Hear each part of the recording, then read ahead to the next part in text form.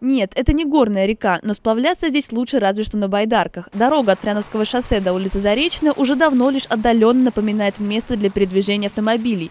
С наступлением весны талые воды размывают и без того разбитое дорожное покрытие, но главная причина кроется не в погодных условиях. Дороги в ужасном состоянии.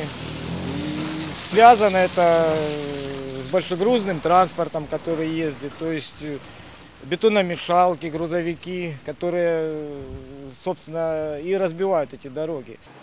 По нашим данным, раньше дорога не состояла на балансе ни одной организации. Еще в Советском Союзе ее для собственных нужд проложили предприятия, которые следили за ее состоянием. С распадом СССР большинство предприятий работать перестало, следить за дорогой стало некому. Оставшиеся предприниматели самостоятельно пытались поддерживать дорожное покрытие в нормальном состоянии, но к положительному результату это не привело.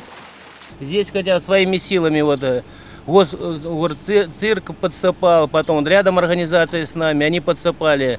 Что подсыпать, что, машина прошла большая, она утопила эту, все, и ехать невозможно.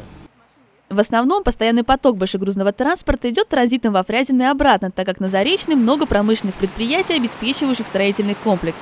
По этой дороге водители объезжают пробки на выезде с улицы Заречной на Пролетарский проспект, но разрушенное дорожное полотно, не рассчитанное на движение тяжеловесных автомобилей, не выдерживает.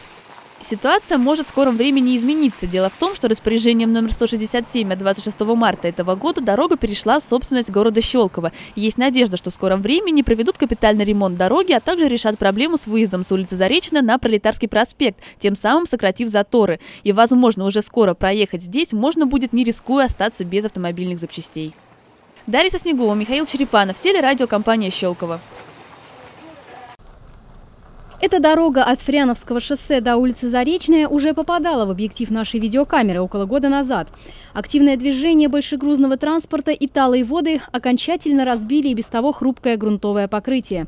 Но если на протяжении всего своего существования дорога официально никому не принадлежала, еще в советское время для своих нужд ее построили местные предприятия, то распоряжением номер 176 от 26 марта 2013 года дорога была взята на баланс городского поселения Щелково.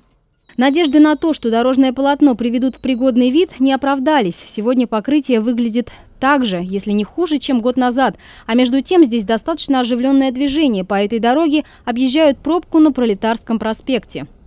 То, что касается обеспечения дорожной деятельности, это входит в обязанности администрации городского поселения Щелково. Это предусмотрено законодательством Московской области, в частности, статья 14 131 закона о местном самоуправлении. А, по имеющейся информации, по имеющейся информации, э, администрация провела определенную работу по паспортизации. Только после этого она может тратить финансовые средства на, на проведение тех или иных дорожных мероприятий. По словам Юрия Алексахина, тех работ, которые наметили городские власти в отношении данной дороги, явно недостаточно. А, на этот год администрацией запланировано проведение а, мелкого ремонта. Что под этим подразумевается? Это произойдет выравнивание и подсыпка щебнем отдельных участков дороги. А асфальтирование в этом году произведено не будет. Однако это представляется самым очевидным решением проблемы. Пока же автомобилистам остается только ждать, когда городские власти приступят к активным действиям. Если в ближайшее время ситуация не сдвинется с мертвой точки, с наступлением весны здесь вряд ли проедет даже внедорожник.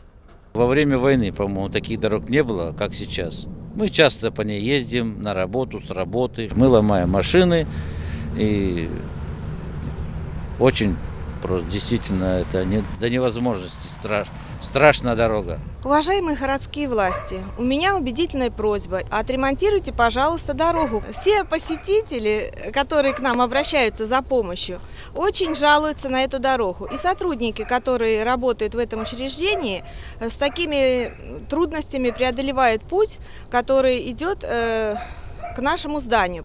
Дарья Соснегова, Михаил Черепанов, Александр Аржевский, телерадиокомпания «Щелково».